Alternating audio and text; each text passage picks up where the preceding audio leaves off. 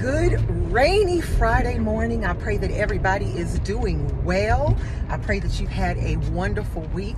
I certainly have. It's just a brief check in just to let you all know that for anybody who cares, again, um, that everything is going well. I have adopted a new routine and I've actually switched my workouts to mornings, whereas I used to do them in the evenings. And so now I don't feel, um, you know, when I would have to get off work and sometimes I'd have to stop at the grocery store and then you'd have to cook dinner and then you'd have to fit the working out in. And, uh, you know, it was just annoying and usually everybody was home and I'm fighting over which TV I'm going to use to do my workout and you know all that kind of thing. Well I recently switched probably a couple of weeks back now to work it out in the mornings instead. It has made a world of difference. I'm telling you I am enjoying it so much. Um, as of this morning as you know, weight fluctuates. It goes up and down for various reasons. Hormones, water retention, certain times for ladies. Um, it's not linear. It's not usually just a steady going down. It goes down, bounces up. It does all kind of things. Well, I've been doing a lot of weight training as well because I realize it's important as a person of my age, which I'm almost, I will be 50 next year it's important to build muscle. I don't, my desire, I'm not trying to be skinny fat. The whole point is not for me to just lose uh, weight, right? I want to actually be fit. I actually want to be toned. I want to put on muscle because that is better for your overall health and helps you to additionally burn fat.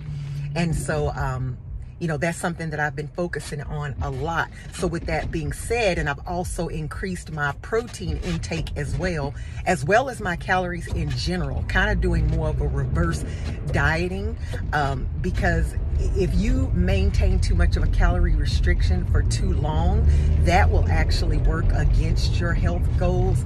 And so I and a lot of times the calorie restriction was not because I was trying, but because eating the way that I eat, keto, ketovore, carnivore, is so satiating that it's you get full and satisfied very easily and it becomes easy to undereat. And so one day I sat down in one of those calculators and I realized that I was not eating enough. So once I increased my calories, I increased my protein, I actually started seeing even better results. Crazy as that sounds. And so it has just been amazing. I'm never hungry. I'm not starving, you know, or any of those things. And I've lost weight before and gotten in shape several years ago by doing low fat, low calorie. And I was successful. I was successful uh, on that. I lost a lot of weight. I was going to a boot camp class in the mornings. I got in really good shape. I was extremely miserable though, and I'm just being honest. My food was bland and I was hungry all the time. And I just made up in my mind those years ago that I was not gonna do do it that way again. I, I just was not. So um, this way is so much more satiating and I'm not new to this. I've been doing this for a while now. Um, and I've often heard people say, that it's unsustainable and I always say that any type of lifestyle is unsustainable to the person who's unable to sustain it.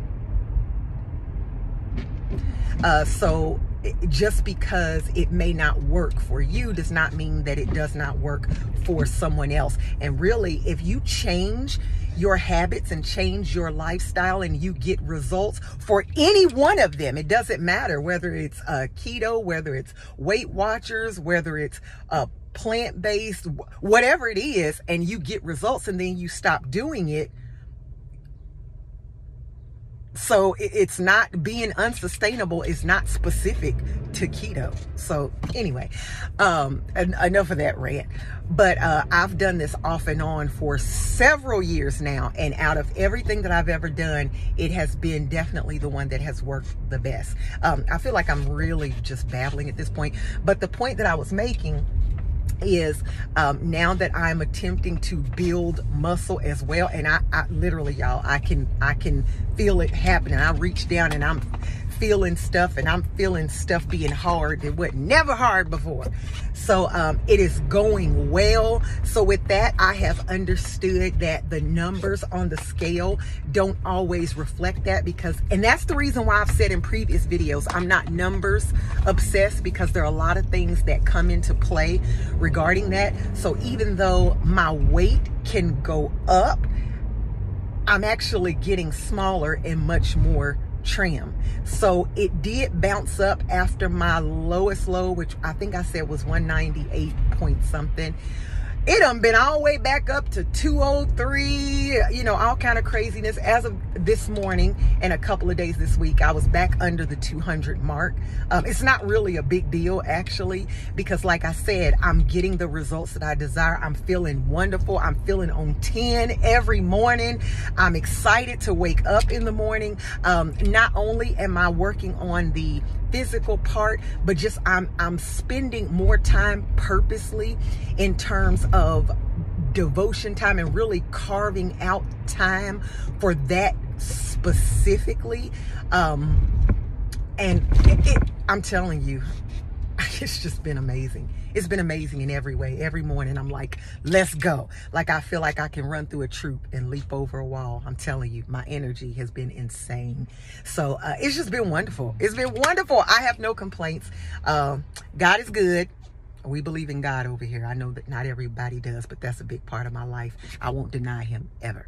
So anyways, I pray that everybody is doing well. I pray that you have a wonderful Friday, that you have a great weekend. That was just a short update just to check in, see how everybody was doing. I pray that you are well. I am headed to work. Um, have a blessed one, y'all. Peace out.